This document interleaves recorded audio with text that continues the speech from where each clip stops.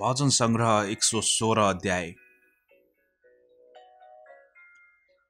मृत्युबाट बाँचेको मानिसको प्रशंसा।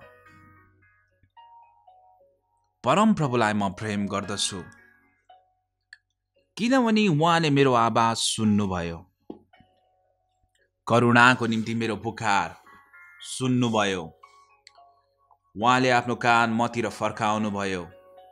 यसकारण म बाँचेर बाँचुन्जेल उहाँको पुकार गर्नेछु मृत्युको बन्धनले मलाई अल्मलाइदियो र चिहानको वेदना म माथि आइपर्यो। दुःख र शोकले मलाई छोप्यो। तब मैले परमप्रभुको नाउँमा पुकारा गरे। हे परमप्रभु मलाई बचाउनुहोस्। परमप्रभु अनुग्रहकारी र धर्मी हुनुहुन्छ।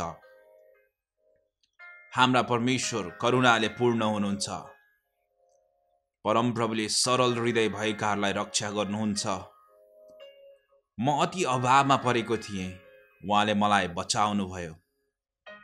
फेरि एकपल्ट हे मेरो प्राण त फेरि शान्त हो।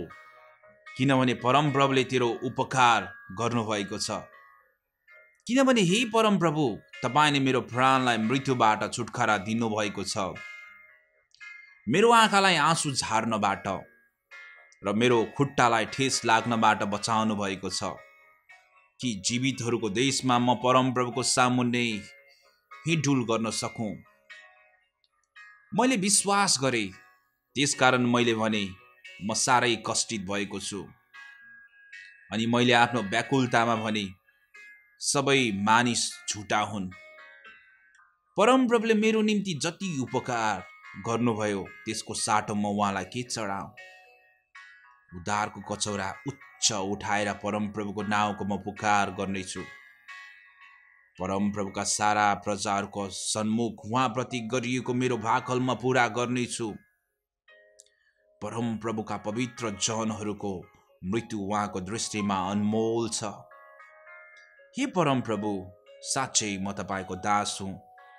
म तपाईँकी कमारीको छोरो तपाईँको दास। हुँ तपाईँले मेरो बन्धनबाट मलाई मुक्त गरिदिनु भएको छ। म तपाईँको निम्ति धन्यवाद बलि चढाउनेछु र परमप्रभुको नाउँको पुकार गर्नेछु। परमप्रभुका सारा प्रजाहरूको सन्मुख प्रभुप्रति गरिएको मेरो भाकल म पुरा गर्नेछु।